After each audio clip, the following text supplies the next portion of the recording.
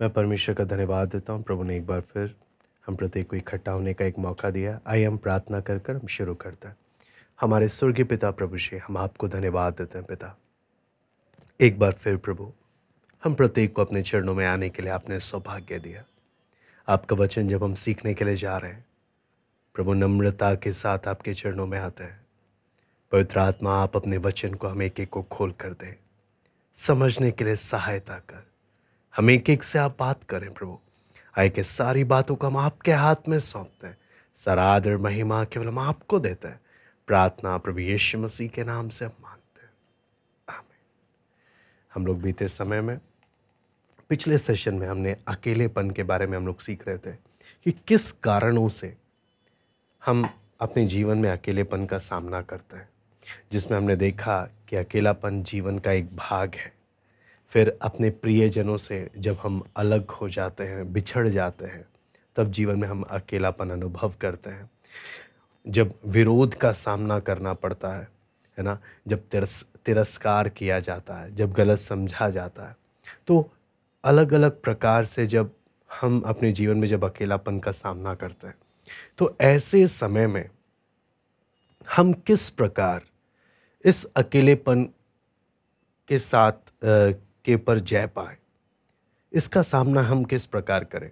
ये हमारे जीवन में जब आता है तो हमने देखा पॉलुस ने किस प्रकार किया, है ना? क्योंकि अकेलेपन का सामना करने के लिए सही तरीके भी हैं और गलत तरीके भी हैं। यानी एक तरीके से झूठी तसल्ली देने वाले भी या खुद को बेवकूफ़ बनाने वाले तरीके भी हैं। अगर आप सोच कर देखें, कुछ लोग अपने आप को एक झूठा तसली या खुद को धोखे में कैसे रखते हैं कि मैं अकेलेपन से जय पा रहा हूँ या मैं उसमें से बाहर निकल रहा हूँ? वो वर्क एलो वर्क एलो बन जाता है। मतलब इतना ज़्यादा काम ही काम काम ही काम आ, करते रहते हैं हर समय में कि रात को सो रात को जैसे ही घर में पहुँचते हैं या रात को जैसे ही रात को बेहोशी की हालत में सो जाते हैं। यानी अपने आप को इतना काम में व्यस्त कर दिया कि शारीरिक रूप से, भावनात्मक रूप से, बोलते हैं ना पूरा अपने आप को निचोड़ दिया। पूरा निचोड़ दिया कि बिल्कुल भी आराम नहीं है। और उसका असर हम बाकी जगह में जीवन के देखते हैं। है ना? तो ये एक तरीका है अकेलेपन से भागने का। या अपने आप को एक झूठी तसल्ली देने का कि मैं अपने आप को अकेला फील नहीं कर रहा, अनुभव नहीं कर रहा। क्यों अपने आप को काम में इतना व्यस्त कर दिया? कि सोचने का ही टाइम नहीं है। वहीं दूसरा तरीका, कुछ लोगों का मेटीरियलिज्म है या भौतिकवाद है।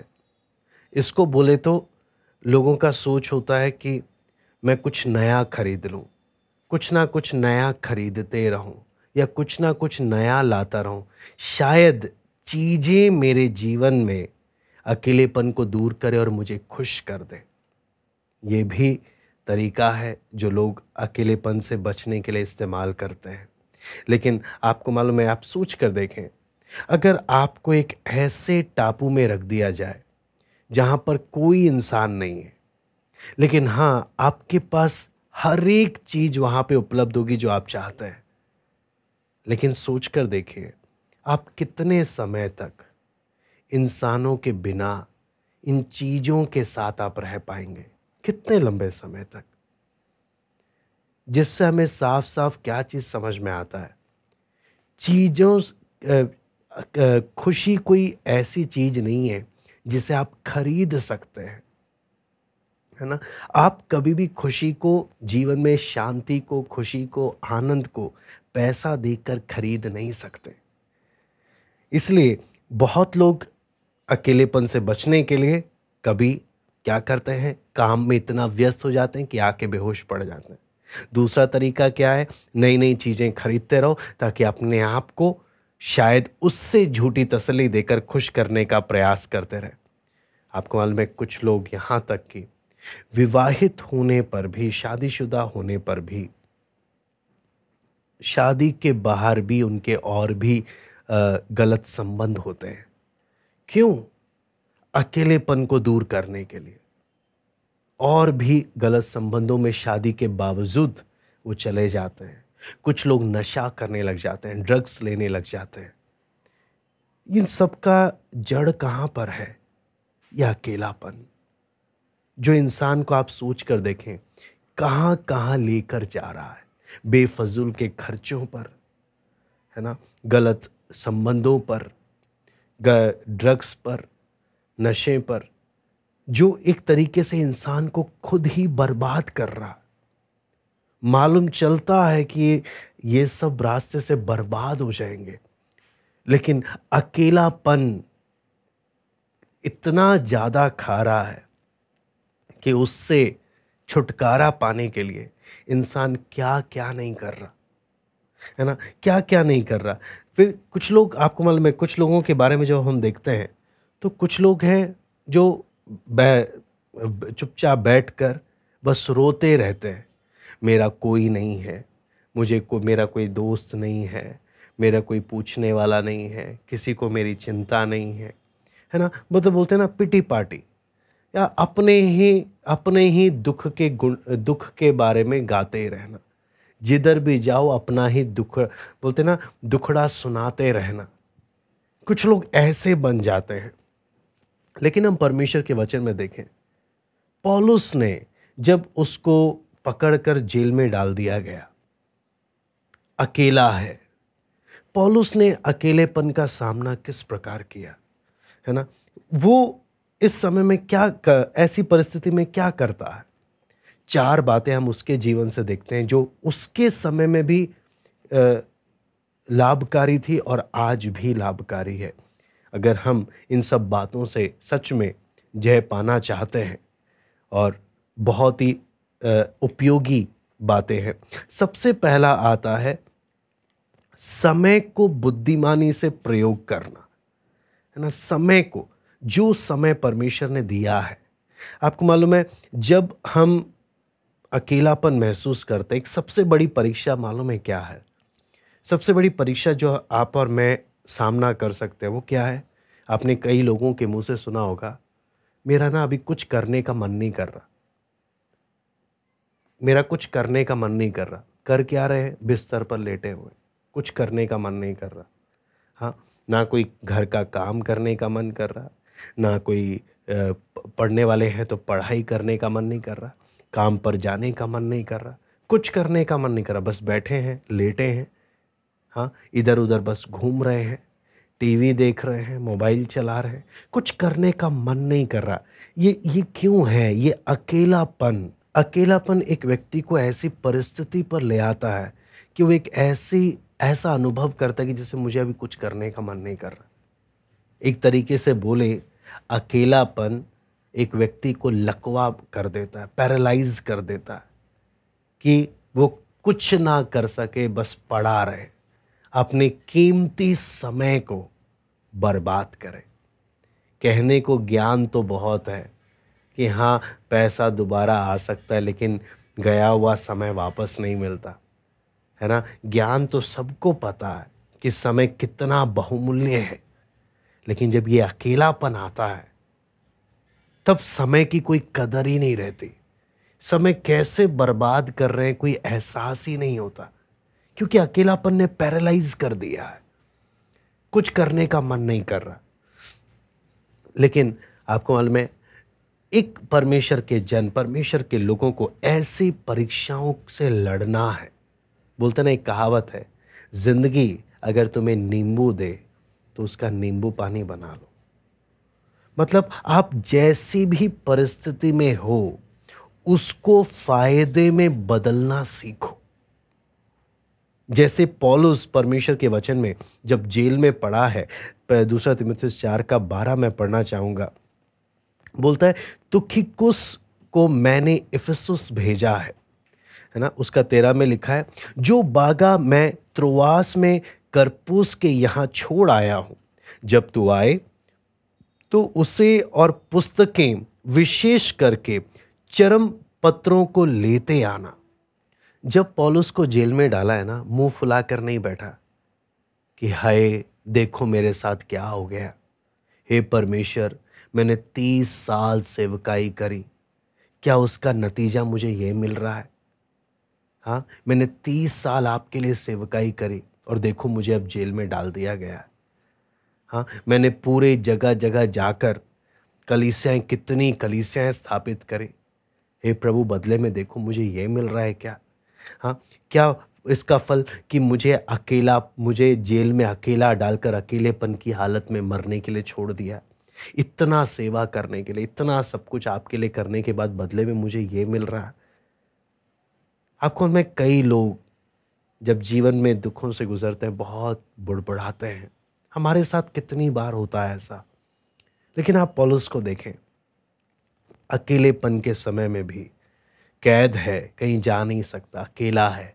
लेकिन समय को बर्बाद नहीं कर रहा। समय को बर्बाद नहीं कर रहा। बल्कि पॉलुस तिमथियस को बोलता है, मेरे लिए ना ठंडी का समय है तो मेरे लिए मेरा कोट लेते हुए आना, है ना? और मेरी किताबें लेते आना। यानी मैं अकेला पढ़ा हूँ तो बस लेटा नहीं रहूँगा। हाँ? कि मेरा कुछ करने का मन नहीं कर रहा, इसलिए मैं कुछ नहीं करूँगा। नहीं। बोलता है तिमोथियस किताबें लेकर आना। मैं अकेला हूँ ना, मैं इस समय बैठकर किताबें पढ़ूँगा। चरम पत्रों को लेकर आना, है ना? आप सोच कर देखें पॉलुस का, कोट लेकर आना। आपको मैं कितनी बार अकेलेपन के समय में लोग जब अकेलेपन से गुजरते हैं तो कितनी बार ऐसा होता है, बोलते मेरा कुछ खाने का मन नहीं कर रहा, मैं खाना नहीं खाऊँगा। फिर कई बार कुछ ऐसे होते हैं जिनका हर टाइम खाने का मन करने लगता है। अकेलापन एक तरीके से अगर आप सोचे, मानसिक रूप से, भावनात्मक रूप से, शारीरिक रूप से इंसान को इतना डैमेज कर देता है, इतना खराब कर देता है, जो आप सोच नहीं सकते। बाहर से अकेलापन इतना, बोलते हैं, कोई बड़ी बात नहीं लगती। लेकिन जब इसके कॉन्सिक्वेंसेस इसके परिणाम जब देखते हैं, सचमुच, ये कितना ज़्यादा बर्बाद करने वाला चीज़ है। और आज चाहे विश्वासी हो, चाहे अन्य जाति हो, अगर हम ध्यान से देखेंगे, बहुत से लोग इस अकेलेपन से अपने जीवन में जूझ रहे हैं। बाहर से तो नहीं बताते, बोलते हैं, सब बढ़िया चल रहा है। लेकिन अंदर ही अंदर ये अकेलापन इनको खाते जा रहा है और बर्बाद कर रहा है। आज बहुत ज़रूरत है कि हम इसे गंभीरता से लें। आपको मैं पॉलुस का स्वभाव को देखें, जब जेल में नहीं था, भागा दौड़ी करता जा रहा था, सेवा सेवा सेवा, जगह जगह जाके प्रचार, एक जगह प्रचार किया, मार खाया, दूसरी जगह गया, प्रचार कर रहा, मार खा रहा। लेकिन रुक नहीं रहा। ये परमेश्वर को मालूम है, पॉलुस एक ऐसा व्यक्ति है, जब से मैंने इसे अपने लिए अलग किया ये चुपचाप घर में टाइम पास करने के लिए बैठता नहीं है। ये मेरी सेवा के लिए अलग होने, मैंने इसको जब अपनी सेवा के लिए बुलाया, ये सेवा में आने के बाद से ये घर में टाइम पास करने के लिए एक दिन नहीं बैठा है। इसको अगर बिठाना है, पॉलुस को अगर एक एक जगह पर बिठाना है तो एक ही जगह है। इसको पकड़कर जेल में डालना पड़ेगा। ये तभी चुपचाप बैठेगा। और चुपचाप भी नहीं, तब भी ये करता रहेगा। और आपको मालूम है, पॉलुस ने किया क्या? जब इसको जेल में पकड़ के डाल दिया, जब जगह जगह जाके सेवा नहीं कर सकता, जब एक जगह में बैठ कर डाल दिया, इसने कितनी पत्रियाँ जेल में बैठ कर लिखी, जो आज हमारे लिए आशीष का कारण बन गई। पौलु, परमेश्वर ने पौलुस के अकेलेपन के द्वारा कितनी आशीषें हम हम सबके लिए परमेश्वर लेकर आया। यानी इससे हम क्या चीज़ समझ सकते हैं? कि अगर हम अपने आप को प्रभु के हाथ में सौंप दें, हमारे जीवन का अकेलापन कितने लोगों के लिए आशीष का कारण बन सकता है? लेकिन अगर हम अपने अकेलेपन को बर्बादी के लिए दे देंगे तो यह अकेलापन हमें बर्बाद कर देगा। किसी के लिए हम आशीष का कारण नहीं बनेंगे यह हमें बर्बाद कर डालेगा। लेकिन यही अकेलापन, है ना? अगर हम परमेश्वर के हाथ में सौंपते, मैं आपको बोलता हूँ, आप कल्पना नहीं कर सकते। पॉलुस दो हज़ार साल पहले, उसने शायद इतना नहीं सोचा होगा, लेकिन उसके जाने के इतने साल बाद भी, आज भी पॉलुस जेल में बैठी पत्रियाँ, नया नियम, है ना? उसकी अधिकतर पत्नियाँ हमारे लिए हमें के लिए कितना आशीष का कारण बन गई यानी अकेलेपन को किस प्रकार आशीष में परमेश्वर ने बदल दिया? ये बात हम इसमें देख सकते हैं, है ना? तो ये बात हमें क्या चीज़ है? चाहे कैसी भी परिस्थिति में डालो, पॉलुस आशीष का कारण है। जेल से बाहर तो भी आशीष, जेल के अंदर तो भी आशीष। ये कभी बुड़बुड़ा नहीं रहा कि प्रभु मेरे साथ आपने ऐसा क्यों होने दिया? आपको में दूसरा बात जो हम देखते हैं, उसका सोलहवीं आयत। मेरे पहले प्रतिवाद के समय किसी ने भी मेरा साथ नहीं दिया, वरन सबने मुझे छोड़ दिया था। भला हो कि इसका उनको लेखा देना ना पड़े, है ना? तो इसमें हम लोग जब वचन में जब देखते हैं तो दूसरा है दुख को कम करना। बार बार उन अकेलेपन में आपको में सबसे बड़ी परीक्षा क्या होती है? पुरानी बातों को याद कर कर के, है ना? उसके बारे में सोच सोच कर दुख और कड़वाहट मन में बढ़ जाता है।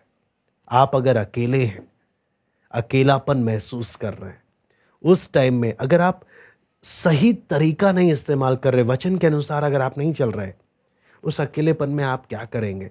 आप ये सोचने लगेंगे, उस व्यक्ति ने मेरे साथ गलत किया। उस व्यक्ति ने मेरे साथ गलत किया। देखो, मैंने इनके साथ कितना अच्छा अच्छा भलाई करा था, लेकिन इन्होंने सबने मेरे साथ गलत किया। आपको मालूम है, अकेलापन आपको दूसरे की गलतियाँ बताकर, याद दिलाकर आपके मन में दूसरों के प्रति कड़वाहट डाल सकता है। पॉलुस बोलता है, मैं जेल में हूँ, बहुत समय है, लेकिन हाँ, दूसरों के प्रति मन में कड़वाहट के लिए मेरे पास समय नहीं है। मैं किसी के प्रति अपने मन में कड़वाहट नहीं रखूँगा। मैं उन पुरानी बातों को बार बार याद नहीं करूँगा। आज बहुतों का जीवन, आप जानते हैं, यही कड़वाहट ने बहुतों के आत्मिक जीवन को बर्बाद कर दिया। बहुतों के। क्यों? अकेलेपन में, शैतान उनके मन में, उस व्यक्ति ने क्या किया, उस व्यक्ति ने तेरे साथ क्या किया, उस व्यक्ति ने तेरे साथ किया। आपको उनमें भजन संहिता एक सुन्नीस में जब पढ़ते हैं, हाकिम भी तेरे विरुद्ध बातें करते थे, परंतु तेरा दास तेरी विधियों पर ध्यान करता रहा। यानी मुझे फ़र्क नहीं पड़ता लोग मेरे बारे में क्या क्या बातें बोलते हैं। मुझे फ़र्क नहीं पड़ता लोग मेरे पीठ पीछे क्या क्या टिप्पणियाँ करते हैं। मैं, तेरा दास तेरी विधियों पर ध्यान करता रहा। इससे क्या चीज़ हम समझते हैं? कि अगर मैं दूसरों ने मेरे साथ क्या किया, कड़वाहट मेरे अंदर आएगी ना, मैं अपने आप को चार दीवारी के अंदर बंद कर लूँगा। मैं सबसे बात करना बंद कर दूँगा, लोगों से अपने आप को दूर करने लग जाऊँगा। मुझे फिर क्या होगा, किसी से कोई मतलब नहीं होगा। सबके प्रति मेरे अंदर कड़वाहट आएगा। मैं आपको बोलता हूँ, बहुतों के जीवन में शैतान ये चला के खेलता है। इसलिए हमने इस बात को ध्यान में रखना है। हमने ब्रिज बनाना है, हमने पुल बनाना है, ना कि हमने दीवारें खड़ी करनी है कि मुझे लोगों से बात नहीं करना। है ना? इसलिए दुख को कम करना सीखें, अकेलेपन में उन बातों को, पौलुस बोलता है, उनको लेखा देना ना पड़े। प्रभु तो उन्हें माफ़ कर दे, मैं भी उन्हें माफ़ करता हूँ। जो हुआ, मैंने उन्हें माफ़ कर दिया, कोई बात नहीं। अब मैं उन बातों को बार बार याद कर कर मैं अपने जीवन में अकेलेपन को बढ़ाऊँगा नहीं, ना ही अपनी हालत खराब करूँगा। फिर अगला बात है, प्रभु की उपस्थिति को अनुभव करना। यहाँ पर वचन में जब हम सत्रहवीं आयत में हम पढ़ते हैं तो यहाँ पे लिखा है, परंतु प्रभु मेरा सहायक रहा, है ना, और मुझे सामर्थ्य दी, है ना, प्रभु मेरा सहायक रहा और उसने मुझे, यानी अकेलेपन में, पॉलुस प्रभु की उपस्थिति को अनुभव कर रहा। ये कितना बड़ा सौभाग्य है। है ना? यह वचन में जब हम पढ़ते हैं, यहुन्ना चौदह का अठारह। यहुन्ना चौदह का अठारह। यहाँ पे लिखा है, मैं तुम्हें अनाथ नहीं छोड़ूँगा। परमेश्वर बोलता है, मैं तुम्हें अनाथ नहीं छोड़ूँगा। इब्रानी तेरह का पाँच में पढ़ते हैं, मैं तुझे कभी ना त्यागूँगा। मैं तुझे कभी ना छोड़ूँगा। जब हम इस बात को पढ़ते हैं, मैं जब अकेलापन अनुभव करता हूँ, याद रखें, परमेश्वर मेरे से दूर नहीं है। परमेश्वर मेरे पास ही है। ऐसी कोई जगह नहीं जहाँ परमेश्वर नहीं है। है ना? ऐसी कोई जगह नहीं है। तो अकेलेपन के समय में परमेश्वर से बात करना सीखें और प्रार्थना सबसे बढ़िया औज़ार है। सबसे बढ़िया माध्यम है। अकेलेपन का सही इस्तेमाल करना। मैं आपको बोलता हूँ, शैतान आपको आपके अकेलेपन में बहुत से गलत रास्तों में ले जाएगा। शैतान आपको अकेलेपन में बहुत से गलत रास्ते में ले जाएगा। आपने, हम प्रत्येक ने अपने अकेलेपन को आशीष में बदलना है।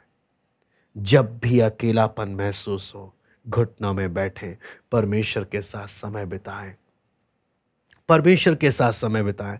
अब कल में दाऊद ने यह बात सीखा, जब शाउल इसके पीछे हाथ दौड़ कर पड़ा, है ना? दाऊद बोलता है, प्रभु, मैं अकेला हूँ, कोई मेरा बचाने वाला नहीं। शाउल अपनी सेना के साथ मेरे पीछे पड़ा हुआ है। लेकिन दाऊद ने सीखा कि अकेलापन एक माध्यम है परमेश्वर को और नज़दीकी से जानने का।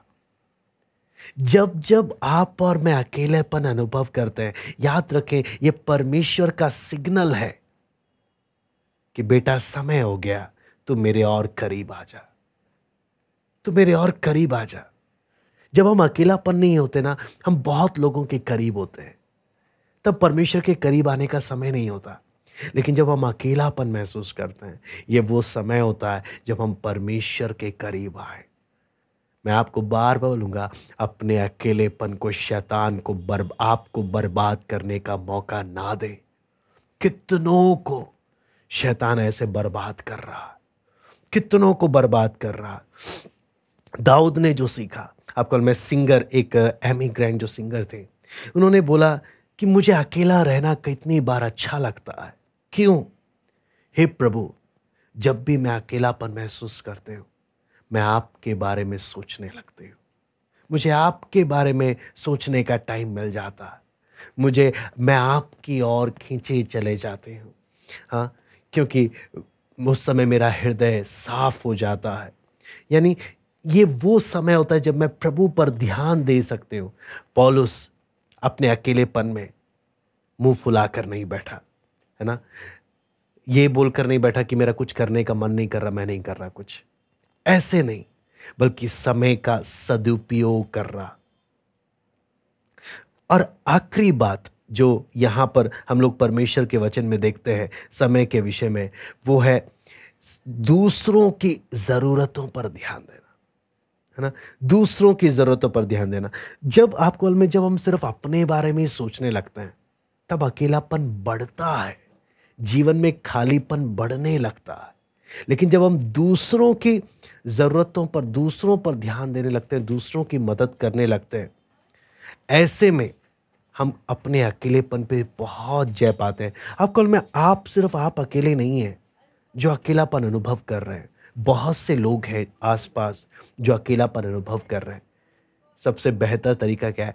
आप जब उनकी मदद करेंगे, अपने आप अकेलेपन से बाहर आएँगे, है ना?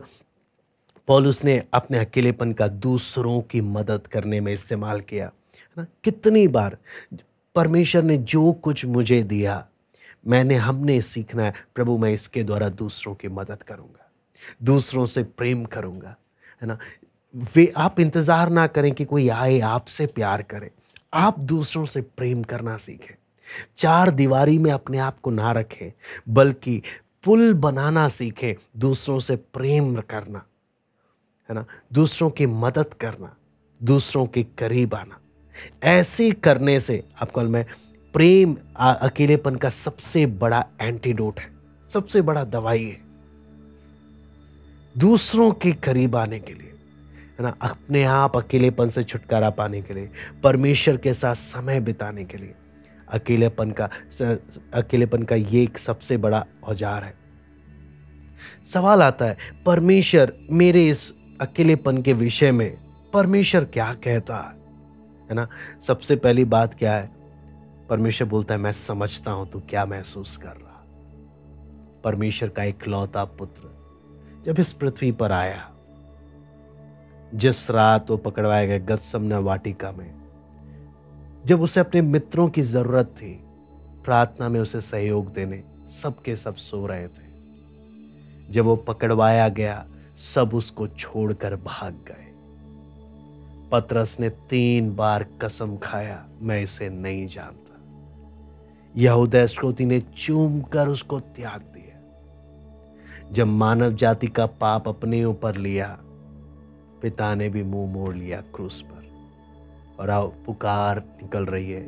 हे मेरे परमेश्वर, हे मेरे परमेश्वर, तूने मुझे क्यों छोड़ दिया? आपको मालूम है, अकेलापन क्या होता है? परमेश्वर समझता है, जानता है। इसलिए बोलता है, मैं तुझे कभी अकेला नहीं छोड़ूँगा।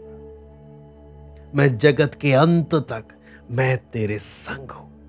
है ना? मैं तेरे संग हूँ। इसलिए परमेश्वर के पास आए अकेलेपन पे जय पाने के लिए। परमेश्वर से मदद मांगे, पर इस अकेलेपन के पीछे के कारण को समझे। प्रभु के सामने चरणों में प्रार्थना में आए, दूसरे लोगों की मदद करें। ऐसा करने से आप ज़रूर इन बातों पर जय पा सकते हैं। आइए हम प्रार्थना करते हैं। हमारे स्वर्गीय पिता प्रभु जी, हम आपको धन्यवाद देते हैं।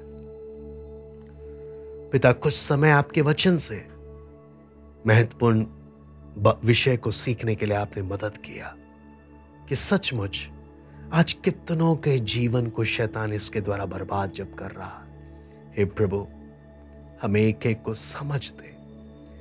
तेरे वचन को सिर्फ़ सुनने के लिए नहीं, प्रभु। इसके अनुसार चलने के लिए हमें एक एक को कृपा दे। आपका अनुग्रह, आपकी दया हम चाहते हैं।